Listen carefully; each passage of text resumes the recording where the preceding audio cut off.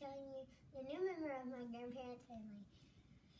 My grandparents aren't much of a dog dog person people, um, and um, but they got a new dog, um, and we're just babysitting him. His name is Toby. He's so cute.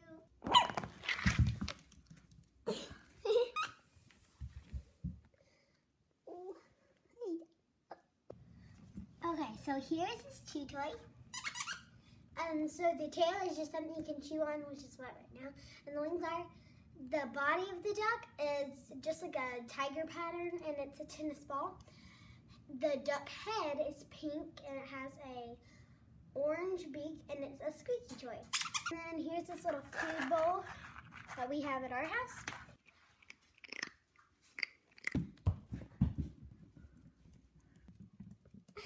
so cute. Okay, guys.